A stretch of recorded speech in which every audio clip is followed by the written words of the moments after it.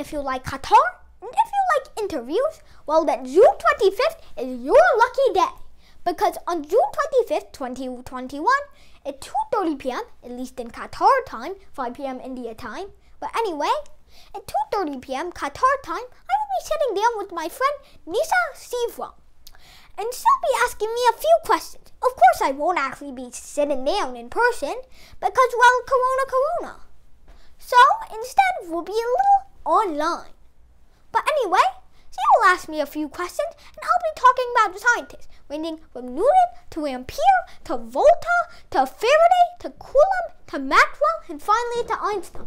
Mamma mia, Volta would say, that's a lot of scientists, half of which I haven't even heard of because I died before them. that be the subjects I'm talking about.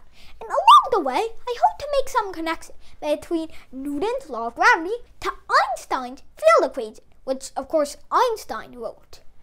And well, if you want the equations, if you want to make some connections on your own before the lecture, which I doubt you can do in three damn days because it took Einstein 10 years. But anyway, Newton's universal law of gravity suggests that the force of gravity, or Fg for short, is equal to uh, g, which is 6.7 times 10 to the minus 11, times m1, mass of the first object in the attraction, m2, mass of the second object in the attraction, divided by the distance between these two objects.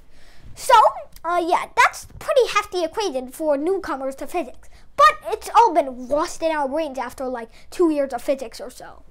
So, anyways, the uh, Einstein field equation is a bit complicated. Almost nobody on the planet understands it. Let me just tell it to you real quick.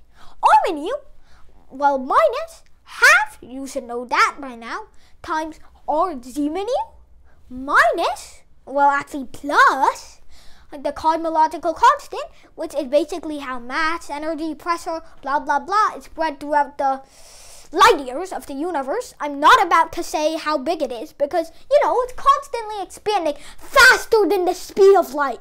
So no, I'm not judging what size it is. Uh, it's how like mass, energy, pressure is all spread out through the crap of the universe.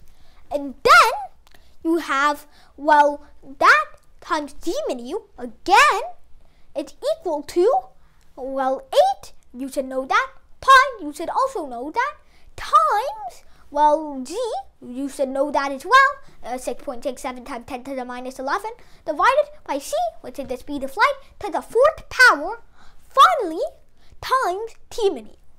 So, that is the field equation and the gravitational equation. So now, I'm going to tell the high school dropout version of the field equation for those of you who don't know. Matter tells space. The high school dropout analogy is, well, Matter tells space-time how to curve, which if you're a high school dropout, you probably shouldn't know, but anyways.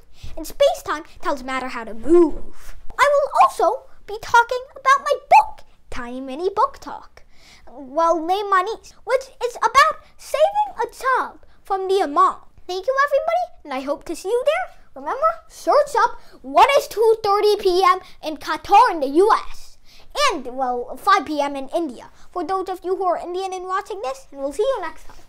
Let's go to the interview, Sir Isaac Newton.